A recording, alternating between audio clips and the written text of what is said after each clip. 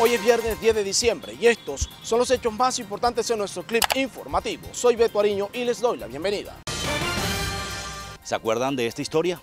En estos momentos yo me siento muy triste porque no he tenido cómo pagar mis recibos ni de agua ni de luz.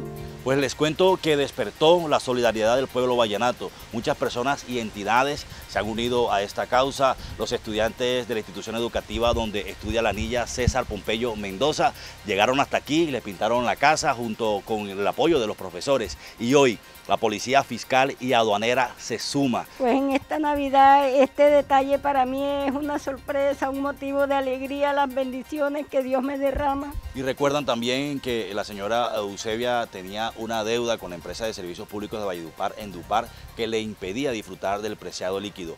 Hoy precisamente esta empresa se une a esta noble causa. En el día de hoy la señora Eusebia queda con el servicio en cero y con su normalización del servicio.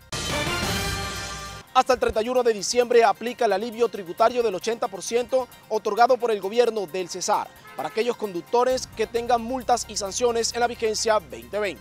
Y acércate a nuestra página www.cesar.go.co o si no llega a nuestras instalaciones de la Gobernación del Cesar, los habitantes del municipio del Paso cerraron la entrada principal a esta población para protestar por la falta de agua potable. Según sus habitantes, llevan dos semanas sin el preciado líquido y aseguran que el mandatario local no ha hecho lo pertinente para solucionar esta problemática.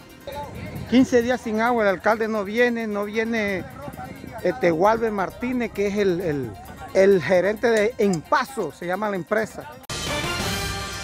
Jorge Antonio Oñate, hijo de Jorge Oñate, nos habló de cómo han sido sus inicios como cantante vallenato. Seguir con el legado de mi padre definitivamente es un anhelo que yo tenía en, en, mi corazón desde muy niño. Yo siempre quise ser como él, siempre quise parecerme a él. Además, se refirió al tributo que le rendirá a su padre al lado de Silvestre Dangón en el lanzamiento de Las Locuras Mías. Y el primo Silvestre siempre yo creo que porque él está en esa etapa ahora mismo de, de, formador también, de guía, de líder, él siempre se mostró muy gustoso. Entonces, él siempre ha dicho, tú tienes mucho futuro. Era lo más querido. Hoy vence el plazo para la recepción de solicitudes y correspondiente emisión de la certificación de candidatos para las curules de paz. Y puedan hacer el ejercicio de inscripción ante la registraduría que se vence el próximo 13 de diciembre como Andrés David Díaz Mejía, de 23 años, fue identificado el joven asesinado en el corregimiento La Honda en Pueblo Bello, Cesar.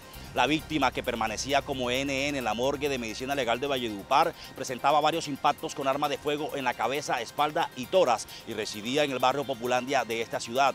De acuerdo a las primeras versiones, el antes mencionado había llegado a dicha población hace pocos días y laboraba como jornalero. Según el testimonio de algunos de los habitantes de este lugar, supuestamente los responsables de asesinarlo lo señalaron de haber cometido un hurto antes de ejecutarlo. Un hombre fue asesinado al interior de un billar ubicado en el corregimiento de Puerto Patiño, en jurisdicción del municipio de Aguachica, sur del Cesar. Se trata de José Neil Arevalo Guerrero, de 35 años, quien fue atacado con un disparo en la cabeza cuando departía en el establecimiento comercial en compañía de su esposa. Según informado por las autoridades, la víctima registra anotaciones judiciales por el delito de hurto calificado y agravado, favorecimiento del contrabando de hidrocarburos y fuga de presos. Una segunda víctima fatal dejó el choque entre una volqueta y una motocicleta en Aguachica. En un centro asistencial falleció Andrés Salvador Beltrán Martínez, de 20 años, quien conducía la moto implicada en el siniestro registrado el pasado 8 de diciembre, en el que falleció de manera instantánea Ana Karina Arias Pérez, de 18 años, quien se desplazaba en calidad de parrillera. Medallas de plata y de bronce ha obtenido la delegación de tiro con arco del departamento de Cesar que participa en un campeonato nacional de esta disciplina realizado en Medellín. La hidrolipoclasia es un tratamiento para reducir la celulitis y grasa localizada. Una cosmiatra nos habla sobre este procedimiento. Hidro, agua, eh, es, con un proceso de solución salina, el cual eh, colocamos mesolíticos, quemadores y le inyectamos a la paciente. Es un proceso que no es doloroso.